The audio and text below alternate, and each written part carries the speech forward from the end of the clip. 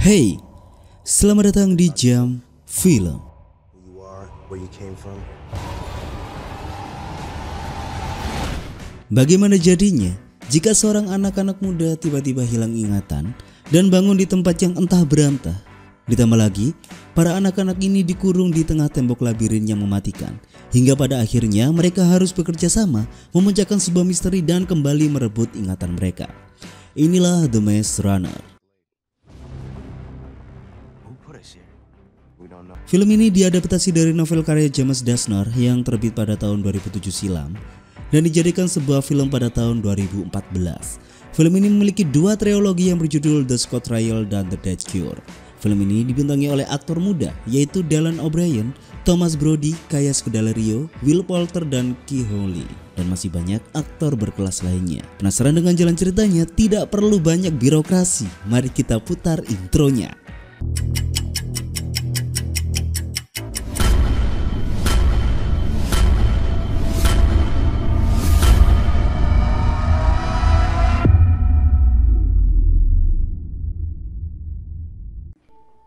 Langsung saja film ini berfokus pada seorang anak muda yang nampak kebingungan berada di lift keranjang yang berjalan menuju ke atas. Hingga lift itu telah sampai di permukaan, seketika dia silau dan berusaha membuka matanya. Dia sungguh bingung melihat banyak anak laki-laki yang seumuran dengannya. Mereka semua tersenyum penuh dengan misteri dan salah satu dari mereka menyebutnya Greenie, yaitu sebutan untuk anak baru. Anak baru itu belum bisa mencerna apa yang dia alami. Dia berlari menjauh hingga dia terjatuh. Dan seketika itu juga dia baru sadar bahwa dia berada di tempat yang dikelilingi oleh tembok-tembok yang besar.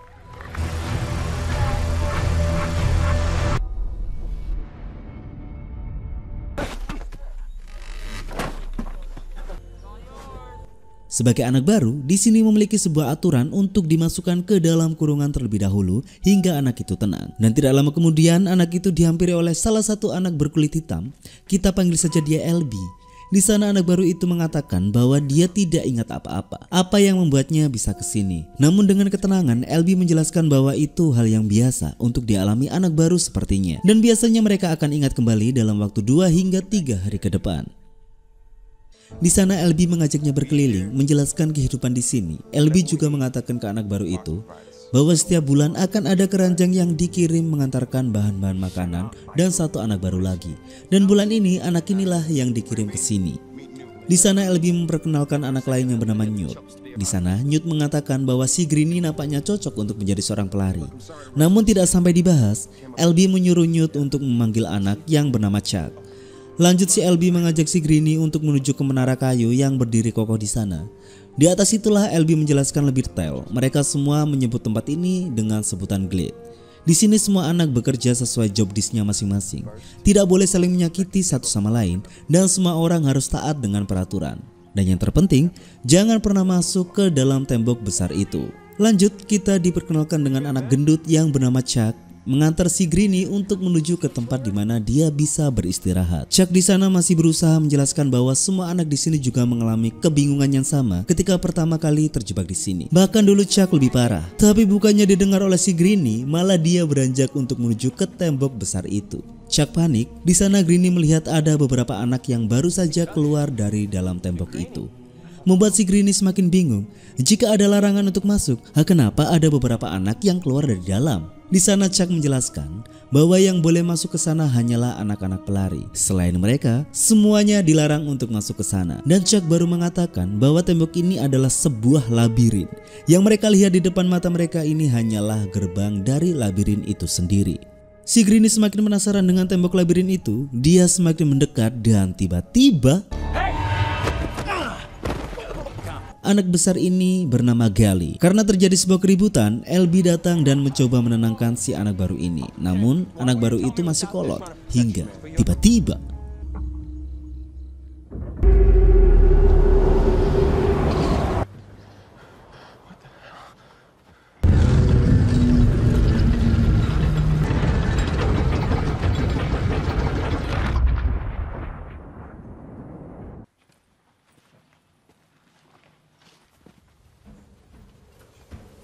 Malam telah datang, semua penghuni Glade berpesta dan menyalakan api unggun.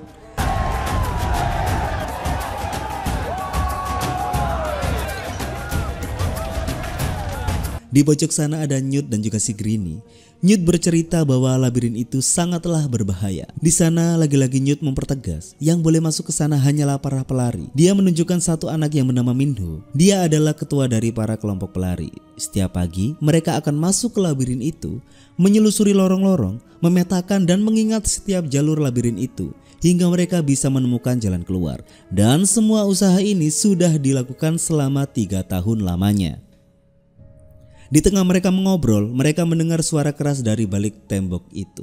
Di sana Newt menjelaskan bahwa setiap malam labirin itu akan bergerak dan bergeser. Dan para pelari adalah anak-anak terkuat dan tercepat di sini. Karena mereka harus masuk dan harus bisa kembali keluar sebelum malam. Karena jika tidak, maka mereka akan mati di dalam sana. Karena tidak ada yang bisa bertahan semalaman di dalam labirin itu. Selain tembok-tembok besar yang bergeser, ada ancaman yang mengerikan di dalamnya, yaitu seekor monster yang mereka sebut dengan sebutan Griever. Newt mengajak Greeny untuk berkeliling di tengah pesta.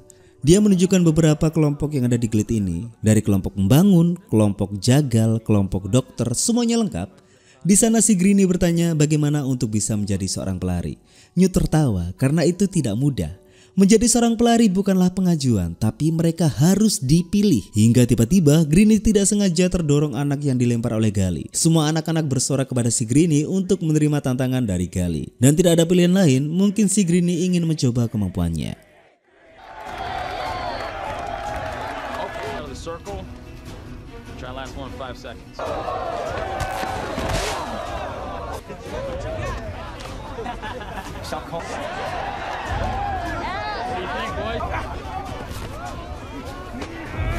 On Shank.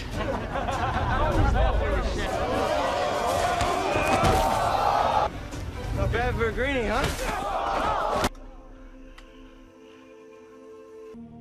Karena sebuah tendangan dari Gali membuat Greeny terjatuh dan kepalanya membentur tanah dengan keras. Di sanalah si Greeny langsung ingat dengan namanya. Dia adalah Thomas. Di sana Gali sportif dan memberikan jabatan tangan kepada si Thomas. Hingga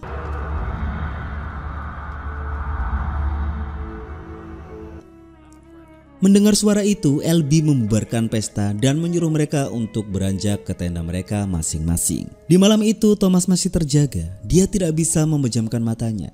Jiwanya diterpa seribu tanda tanya, hingga otaknya hanya bisa menangkap sedikit masa lalu sebelum dia mendarat di sini. Si LB membangunkan Thomas di pagi buta. Dia mengajak Thomas pergi ke ujung Glade. Di sana LB bercerita, sebelum Glade membuat sebuah tatanan, Glade sangatlah kelam. Banyak anak-anak ketakutan dan saling melukai karena tidak mau saling mempercayai. Namun sekarang keadaan sudah lebih baik. Lalu di sana Thomas dipersilakan LB untuk mengukir namanya di tembok itu, menandakan bahwa Thomas sudah menjadi keluarga besar Glade. Di sana Thomas mempertanyakan kenapa ada nama-nama yang dicoret. LB menjelaskan bahwa nama-nama itu adalah korban dari masa kelam di Glade ini. Hari sudah terang, seperti biasa mereka mulai mengerjakan tugasnya masing-masing.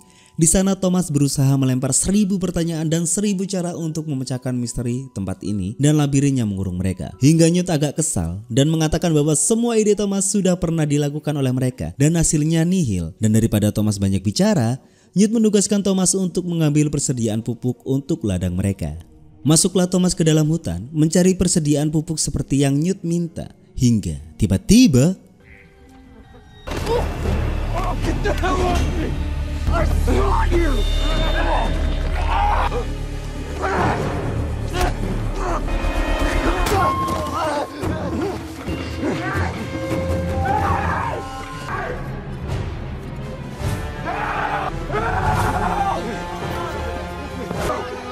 Dia adalah Ben, salah satu dari anak pelari. Entah kenapa tiba-tiba dia menyerang Thomas dan mengatakan bahwa ini semua adalah salah Thomas. Semuanya berkumpul. Setelah Ben berhasil ditahan, ternyata di balik pakaiannya ada sebuah luka yang aneh. Mereka mengatakan bahwa itu adalah sebuah sengatan dari Griever. LB menjelaskan bahwa siapa saja yang disengat oleh Griever, maka orang itu akan berubah menjadi gila, semacam zombie yang menyerang siapa pun yang dilihatnya.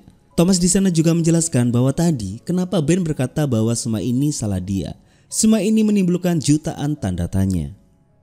Di Glade ini memiliki sebuah aturan di mana yang tersengat harus pergi dari tempat ini. Di sana Ben hanya bisa memohon kepada mereka, namun ini sudah aturan. Jika Ben tetap di sini akan malah membahayakan yang lainnya.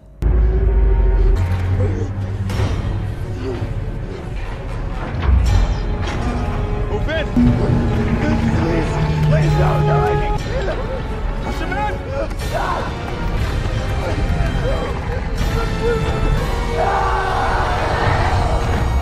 Di malam itu juga, nama ukiran Ben dicoret menandakan Ben sudah tewas. Menjelang tidur, Chuck bercerita kepada Thomas bahwa tidak akan ada yang bisa bertahan semalaman di dalam labirin itu. Esok hari mungkin jasad Ben sudah lenyap dimakan Griever.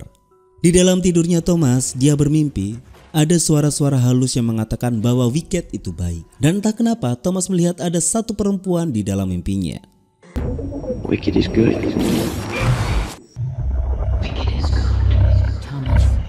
Setelah itu dia terbangun di pagi hari. Thomas bingung, dia melihat ada Alibi dan Minho yang masuk ke dalam labirin. Ketika mereka semua kembali bekerja, di sana Thomas bertanya kepada Newt kenapa Elby ikut masuk ke dalam labirin. Bukankah yang boleh masuk hanyalah para pelari? Newt menjawab bahwa Elby adalah sebuah pengecualian karena Elby adalah orang pertama yang ada di Glade ini. Dialah yang membuat sebuah aturan ketika Glade memiliki banyak anggota. Elby adalah orang yang lebih tahu tempat ini daripada siapa pun.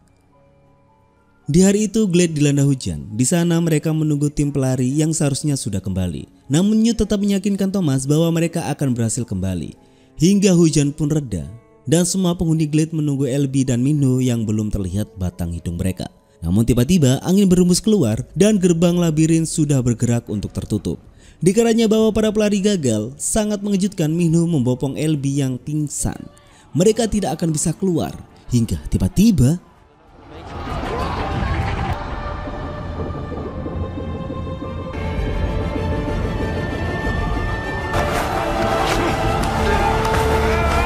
Di dalam sana Minho mengatakan kenapa Thomas malah mau bunuh diri. Namun Thomas tidak peduli, dia menanyakan keadaan Elby. Elby telah tersengat oleh Griever dan Thomas mengajak Minho untuk bertahan hingga besok, di mana gerbang kembali terbuka. Di sana mereka membopong Elby dan mendengar suara Griever yang nampaknya sudah mendekat ke arah mereka. Untung saja Thomas memiliki sebuah ide di mana dia bisa amankan tubuh Elby. Di sana mereka berdua berjuang menarik Elby ke atas. Namun sayang, Griever nampaknya semakin mendekat. Minho tanpa banyak pikir, dia lari dan meninggalkan Thomas dan juga Elby. Hingga Thomas terpanting dan syukurlah ada sebuah kolong di sana.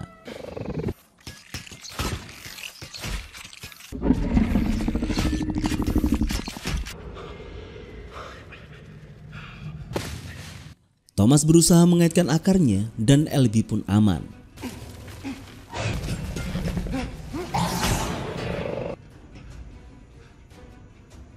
Setelah itu Thomas mencari Minho. Dan tiba-tiba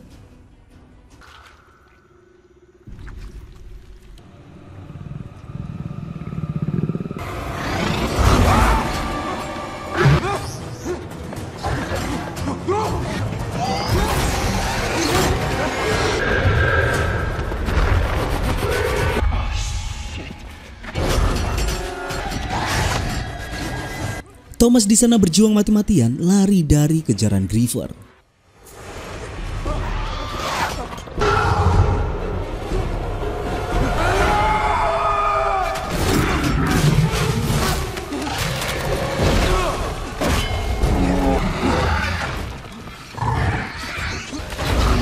Untunglah mereka berdua berhasil dipertemukan hingga mereka bertemu sebuah lorong di mana lorong itu akan tertutup. Tapi di sanalah Thomas memiliki sebuah ide.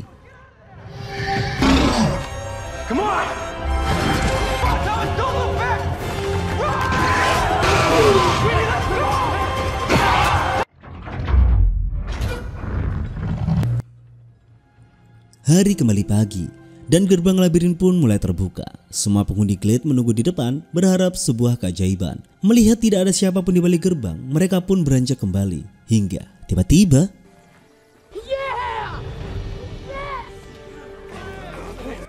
Di sana mereka bersorak bagaimana bisa mereka masih hidup dan apakah mereka bertemu dengan Griever. Di sana Minho menjelaskan bukan hanya bertemu, bahkan Thomas telah membunuh Griever.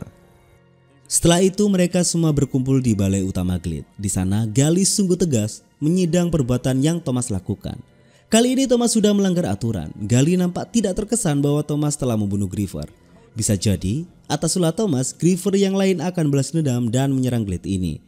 Di sana Minho sebagai orang yang berjuang bersama-sama di dalam labirin, dia pun speak up bahwa Thomas layang menyelamatkan LB. Ketika dia lari, Thomas masih berjuang untuk mengamankan LB. Thomas harusnya mendapatkan pujian, bukan hukuman.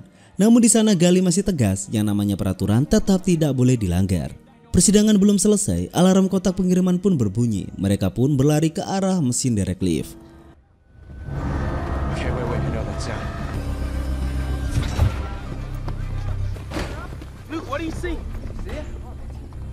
Ketika dibuka, mereka semua terkejut bahwa yang datang kali ini adalah seorang perempuan. Baru pertama kali ini keranjang ini membawa perempuan.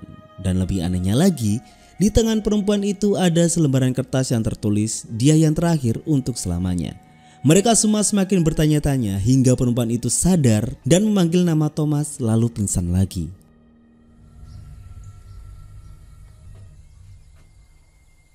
Still think I'm. Setelah itu mereka membawa perempuan itu ke gubuk kesehatan. Para tim medis akan merawat perempuan ini dan ingin segera tahu kenapa perempuan ini menyebut nama Thomas.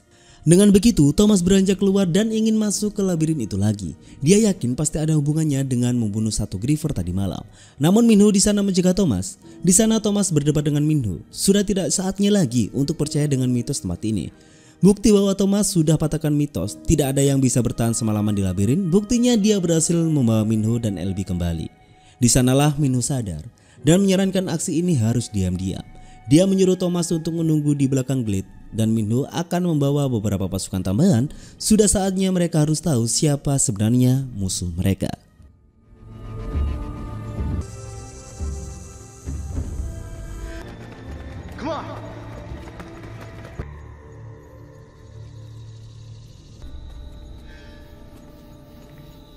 That's disgusting. Di sana mereka melihat ada sebuah benda yang berkedip di dalamnya.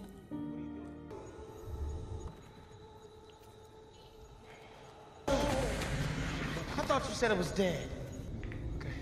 Come on, let's try and pull it out. Setelah semua tenang, mereka menarik kaki monster itu dan menemukan sebuah benda seperti tabung yang memiliki monitor berangka 7. Tidak ada waktu mereka untuk berdiskusi di sana. Mereka harus keluar dari labirin ini sebelum gerbang tertutup.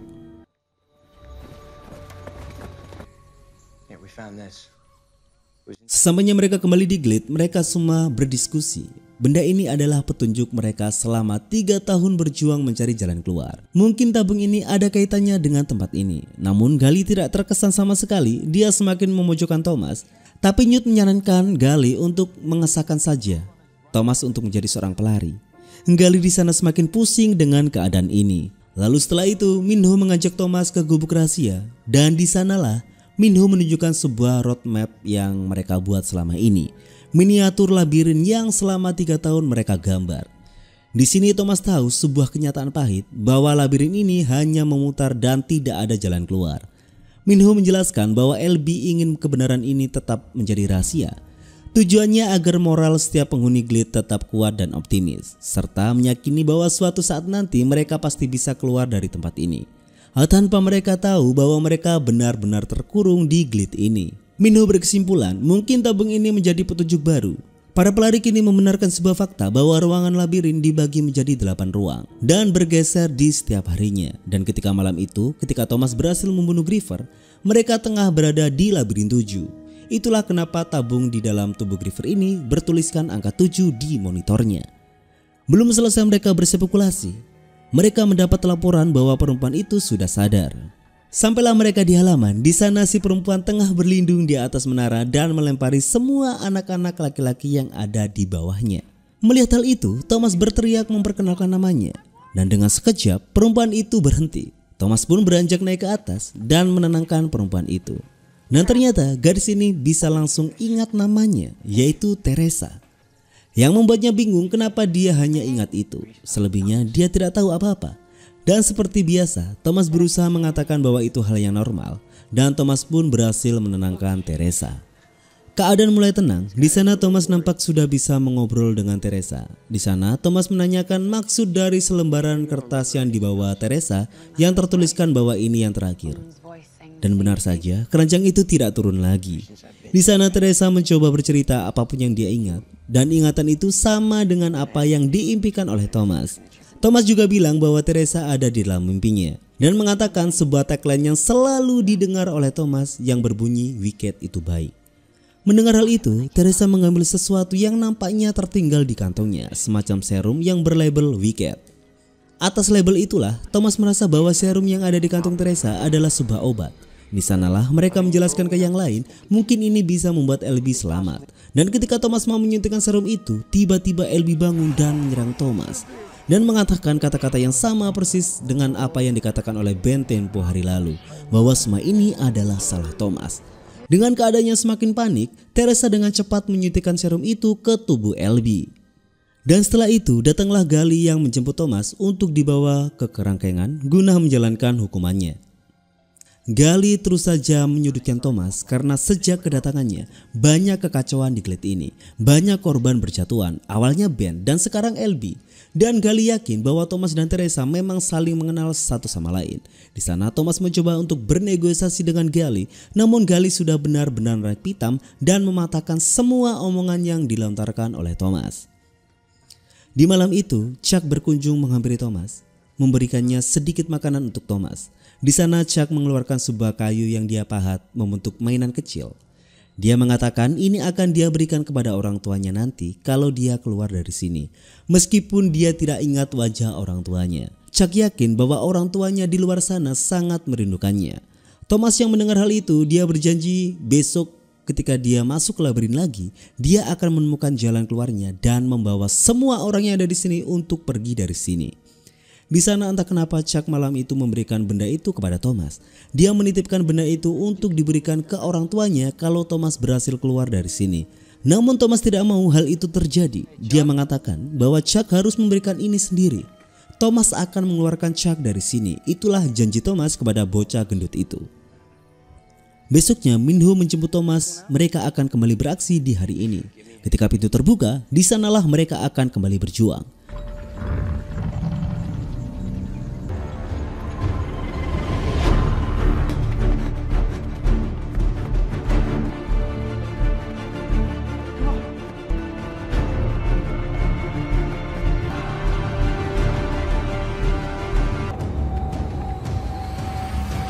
Seharusnya labirin tujuh tertutup, tapi kenapa masih terbuka? Dan ketika mereka terus menyusuri, sampailah mereka ke sebuah tempat yang di mana para pelari menyebut tempat ini dengan sebutan mata pisau. Mereka juga menemukan singlet band yang sudah berubah warna menjadi merah darah. Mereka meyakini bahwa Griever membawa band ke tempat ini. Di sana Thomas mendengar suara, dan suara itu berasal dari tabung River yang mereka bawa. Di sanalah Thomas baru paham bahwa tabung itu semacam petunjuk jalan. Jika rute yang mereka lewati benar, suara tabung itu akan menambah ritme ketukannya dan mereka pun mengikuti pola ketukan dari suara tabung itu. Hingga mereka sampai ke sebuah tempat baru, sungguh membuat Minho terkesan bahwa baru kali ini dia menemukan tempat ini. Meskipun awalnya Minho kira ini hanyalah jalan buntu sama seperti yang lain, monitor tabung itu berubah warna menjadi hijau dan di sanalah pintu rahasia itu terbuka. Di sana mereka menemukan sebuah lorong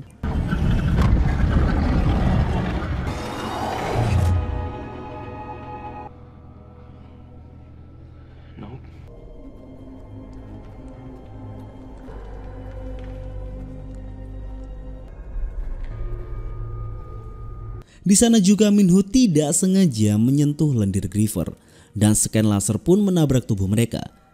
Di sanalah tiba-tiba alarm berbunyi yang artinya sistem mendeteksi bahwa mereka bukanlah objek yang seharusnya yang boleh masuk ke kawasan ini. Mereka berdua pun lari keluar dari tempat ini.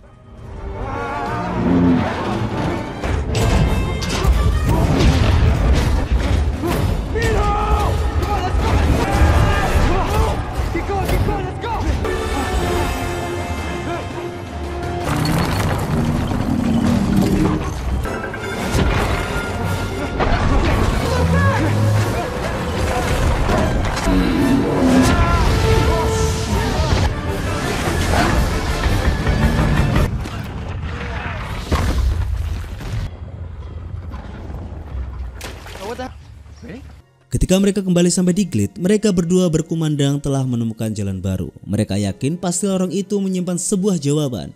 Bisa saja itu adalah lorong di mana Griever dimasukkan dan beroperasi di labirin. Yang artinya itu bisa jadi jalur untuk keluar. Atau bisa saja di ujung lorong sana itu buntu dan yang ada hanyalah lusinan para griefer yang lagi tidur tanpa ada jalan keluar.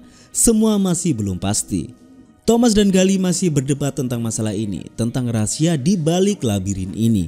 Hingga tiba-tiba Teresa memotong perdebatan mereka dan mengatakan bahwa LB sudah sadar. Di sana benar LB telah sadar, dia nampak diam dan hanya menangis. Thomas di sana mendekat, namun entah kenapa LB mengatakan bahwa mereka tidak akan membiarkan kita keluar. Dan semua ini dia mengatakan bahwa Thomas yang paling spesial. LB pun bertanya kenapa Thomas ke sini. Belum sempat terjawab, tiba-tiba ada kegaduhan di luar sana. Terdengar suara alarm yang begitu menyeramkan. Semuanya panik karena pintu labirin tidak tertutup. Sebaliknya, malah semua pintu labirin di segala penjuru telah terbuka.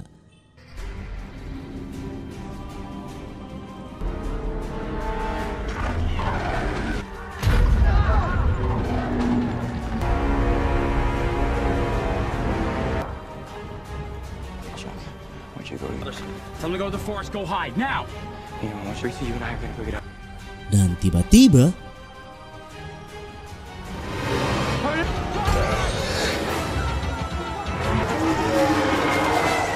Mereka semuanya lari, kali ini mereka bersembunyi di ladang mereka.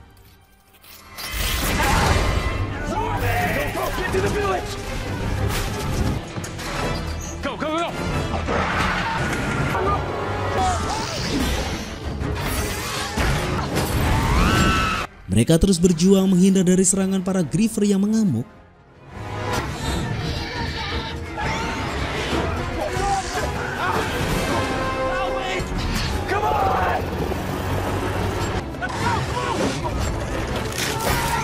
Mereka semua lari ke gubuk utama.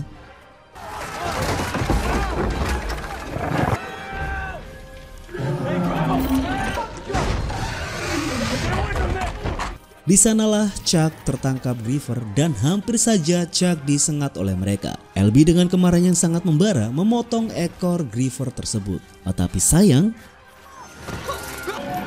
Chuck, you okay? Yeah, fine.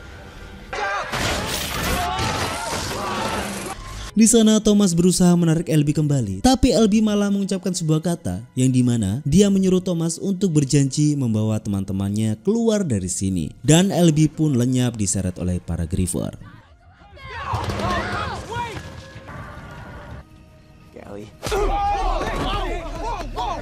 Gali mengatakan bahwa Thomas adalah salah satu dari musuh. Dia sengaja dikirim ke Glade ini untuk merusak keluarga kecil ini dan menghancurkan semua tatanan yang selama ini mereka dirikan. Gali tidak ada hentinya menyalahkan Thomas di sana. Di sana Thomas juga berpikir mungkin saja Gali benar. Thomas semakin tidak tahan. Dia merebut alat sengat griever yang dipatahkan LB tadi dan menyuntikannya sendiri ke tubuhnya. Tujuannya mungkin saja dengan cara ini Thomas bisa tahu semuanya seperti Ben dan juga LB yang bisa melihat ketika mereka terinfeksi. Dan faktanya memang benar bahwa Thomas berada di sebuah lab. Dia melihat Teresa di seberang meja kerjanya. Dia juga melihat sekelebat wajah-wajah anak yang tidak asing di matanya. Namun sayang belum terlalu jelas Thomas sudah sadar kembali. Thomas kembali sadar, di sana ada Teresa, Minho, Newt dan juga Chuck. Sekarang keadaan Glade sudah terpecah belah menjadi dua kelompok. Tim Gali akan tetap di sini dan tim Thomas akan keluar dari sini.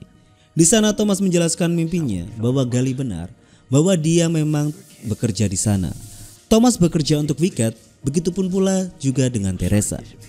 Di sana Newt mengatakan bahwa semua itu sudah tidak penting. Yang terpenting adalah bagaimana kita bisa bersama-sama keluar dari tempat ini. Dan mereka harus menyusun rencana untuk melewati Gali.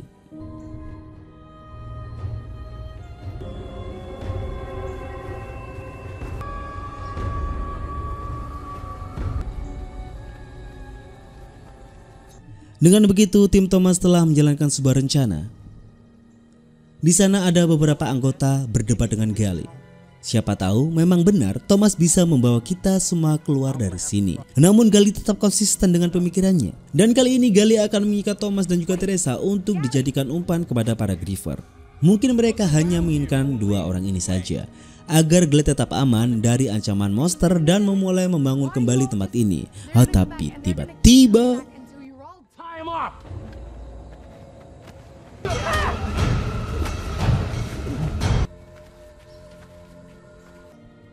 Ketika Gali berhasil dilumpuhkan, di sana Thomas berunding untuk yang terakhir kalinya. Siapa dari mereka yang mau ikut dengan Thomas? Sebagian anak ada yang bergabung dan sebagian tetap mengikuti instruksi Gali. Di sana Gali hanya mengucapkan selamat berjuang dan tim Thomas pun masuk ke labirin bersama rombongannya.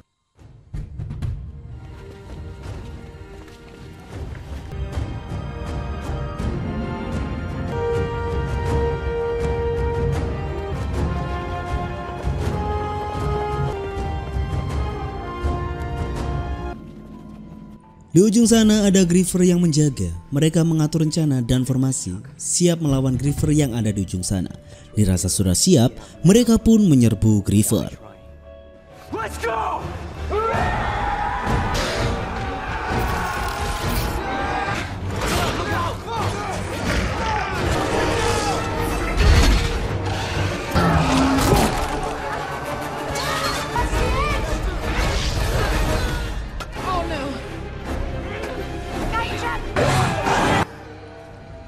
Sangat disayangkan, Griever yang lain telah keluar dari sarangnya. Sebagian kelompok menahan Griever sebisa mungkin, sedangkan Chuck dan Teresa masuk ke dalam terowongan. Dan benar adanya, di terowongan itu terdapat sebuah pintu, namun sayang pintu itu dikunci oleh sebuah sandi. Di sana mereka berspekulasi, bisa saja sandi pintu itu adalah urutan nomor labirin. Di sana hanya Minho yang hafal, dan dia menuntun Teresa menekan tombol urutan nomor tersebut.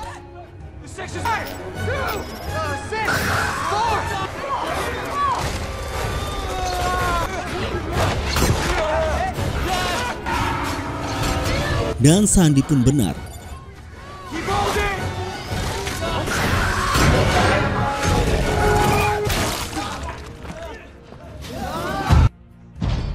Di balik pintu itu terdapat sebuah lorong basement. Mereka berjalan menyusuri basement tersebut hingga mereka bertemu dengan pintu keluar. Dan ketika pintu itu terbuka,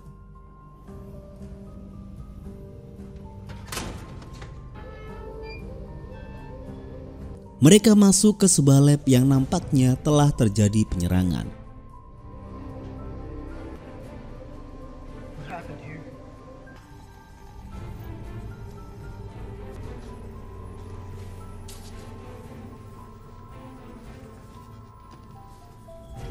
Fakta yang menyakitkan bahwa mereka melihat selama ini mereka memang telah diawasi di gate sana. Di sana Thomas melihat ada sebuah sidik jari di sebuah monitor dan ketika dia menyentuh sidik itu keluarlah sebuah sensor layar di sana dan ada seorang wanita yang mengaku dirinya adalah direktur dari operasi ini. Wanita itu menjelaskan jika mereka menonton ini itu tandanya mereka berhasil menyelesaikan ujian labirin. Namun sayang si wanita itu tidak bisa menjelaskan banyak karena sebuah keadaan dan dia meyakinkan anak-anak ini bahwa semuanya sudah ada alasannya. Wanita itu mengatakan bahwa dunia sekarang telah hancur. Matahari membumi hanguskan dunia, kelaparan, penderitaan skala dunia, dan lebih buruknya ada sebuah virus yang mereka namai virus flare atau virus suar. Virus ini menyerang otak dan tidak bisa ditebak. Tidak ada obat untuk bisa melawan virus ini. Lalu, Wicked menemukan sebuah fakta bahwa telah lahir sebuah generasi baru yang tahan dengan virus ini. Mereka merasa ada harapan untuk mendapatkan formula obatnya. Namun semua tidaklah mudah. Mereka harus menguji anak-anak muda ini bahkan dikorbankan dalam lingkungan yang cukup keras. Tempat di mana para peneliti bisa mempelajari aktivitas otak mereka. Para anak-anak ini adalah objek untuk uji coba. Ada yang kebal, ada juga yang tidak. Memang operasi ini menuai kontroversi dan banyak yang tidak setuju dengan cara ini. Para anak-anak itu melihat sendiri di belakang wanita itu sudah mulai ada baku tembak dengan para pemberontak. Namun wanita itu tetap tegas dan yakin. Dia mengatakan bahwa dunia luar sudah menunggu mereka dan mengatakan untuk yang terakhir kalinya, Wicked itu baik dan dia menembak kepalanya sendiri dengan pistol.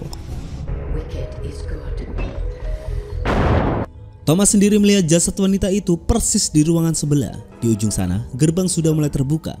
Apakah mereka akan benar-benar lolos? Namun sungguh mengejutkan, tiba-tiba ada Gali yang menyusul dari belakang. Nampak dia telah tersengat oleh Griever. Dia menodong pistol ke arah rombongan Thomas. Gali menangis mengatakan bahwa tidak ada jalan keluar di sana. Rumah kita adalah di Glit. Dan tiba-tiba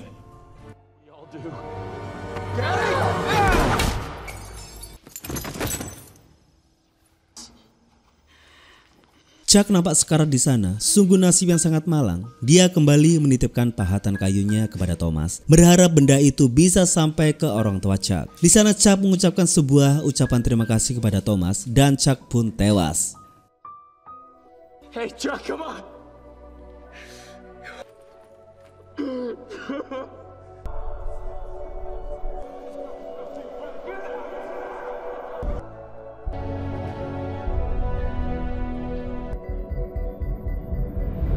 Akhirnya kita bersama-sama diperlihatkan dunia luar sana. Mereka semacam ada di sebuah padang pasir.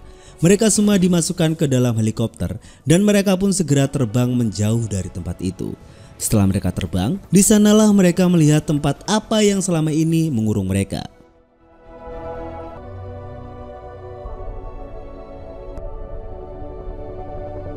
Di dalam sana, sang soldier menenangkan anak-anak yang mereka bawa, bahwa setelah ini semua akan berubah. Kita berpindah tempat, semacam kita dibawa ke sebuah tempat meeting, dan sungguh sangat mengejutkan. Kita kembali diperlihatkan wanita yang ada di monitor tadi, dan pada kenyataannya, wanita itu masih hidup. Apakah itu tadi hanya ilusi komputer? Wanita itu mengatakan bahwa uji labirin telah berhasil. Semakin banyak akan semakin meriah. Dia juga berkata bahwa Thomas terus mengejutkan dan selalu memukau. Mereka akan lanjutkan ke tahap berikutnya. Dan film pun tamat.